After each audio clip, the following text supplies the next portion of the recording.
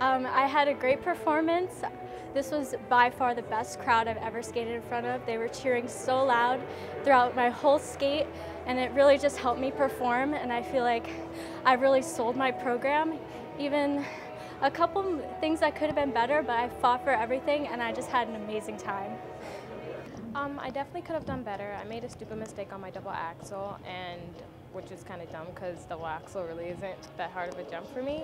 So I think I just have to pull it together for the long. Um, obviously, it could have gone a little bit better, but I'm super proud of the way that I came back and attacked it with full force.